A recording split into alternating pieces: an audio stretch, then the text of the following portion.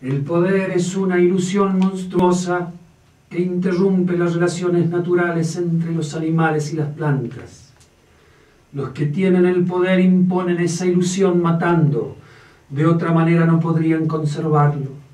Con sus matanzas van postergando un tiempo de alegrías.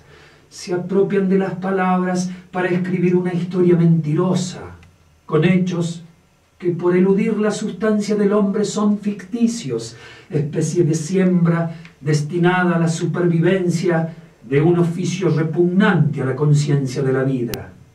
A esas ficciones nosotros oponemos las palabras para mantenernos en el tiempo, hasta encontrar una instancia de descubrimiento de algo nuevo. A la mentira lujuriosa oponemos una pequeña vida verdadera. Vamos a contar nuestra propia historia, donde la voz de un hombre o un vestido de novia que se lleva el viento valen más que las llamadas hazañas de los fuertes o una canción que es el lenguaje incontaminado que usamos en estos pueblos perseguidos para poder comunicarnos sin peligro. Por si también lo ha olvidado, sepa que está acabando un siglo terrible. Hay hombres y armas que pueden destruirlo todo. Es necesario que para cuando esos asesinos acaben de abrirse paso, todos hasta la última de las hormigas, estemos en palabras salvadoras, palabras salvadoras. El tiempo que ellos han tardado en apropiarse del mundo nos ha permitido una demora que ha hecho posible hallazgos más vitales que nos permitirán subsistir en la libertad. En el fin de la ilusión del poder a ellos los espera la tristeza, donde desaparecerán la mecánica del mundo es para la alegría. Ellos nunca podrán modificar esa mecánica, ni con las manos, ni con el pensamiento. A lo mejor estamos apenas en el comienzo de nuestro tiempo de hombres y nos falte recorrer un tramo más de la distancia para que en un punto de ese giro empiece otra era en armonía con lo viviente y lo no viviente, sin comernos los unos a los otros como los peces.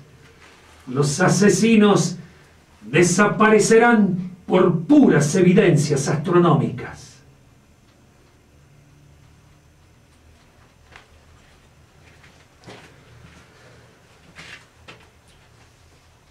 Te golpearon el rostro, te ataron las manos, el plomo de un fusil te derribó despacio. Se agotaron las lágrimas para llorarte, hermano, para llorarte, hermano.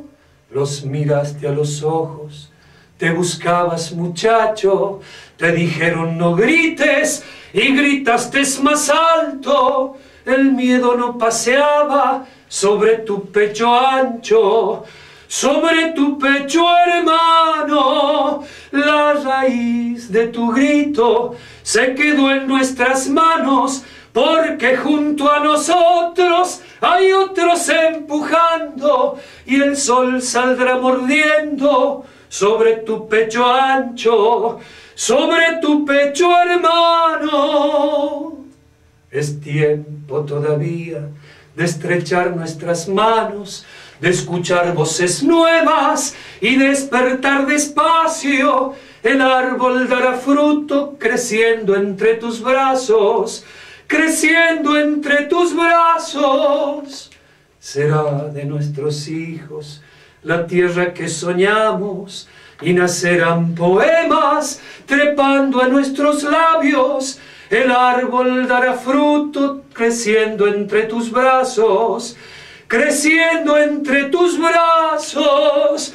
La raíz de tu grito se quedó en nuestras manos, porque junto a nosotros hay otros empujando, y el sol saldrá mordiendo sobre tu pecho ancho, sobre tu pecho hermano.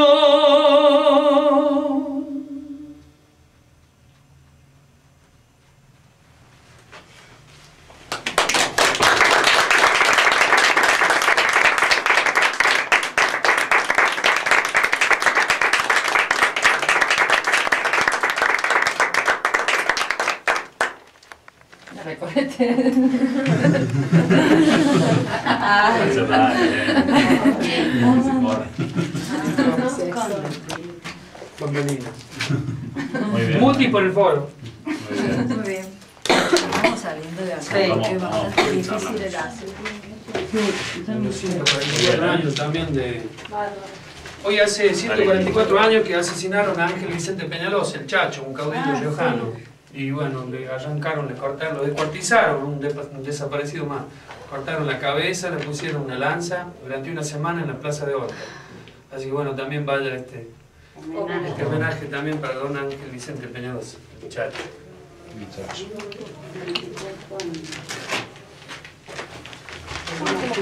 El texto.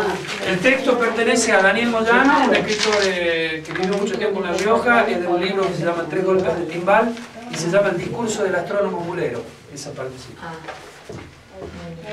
Y la canción eh, se llama El grito, es de Rubio y de Jorge Cumbo, el que toca la quena, el flautista, él de la música de Jorge Cumbo. Un tema muy viejo, de hace muchísimos años.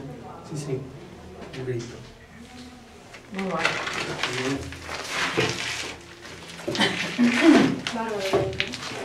Sí, la voz.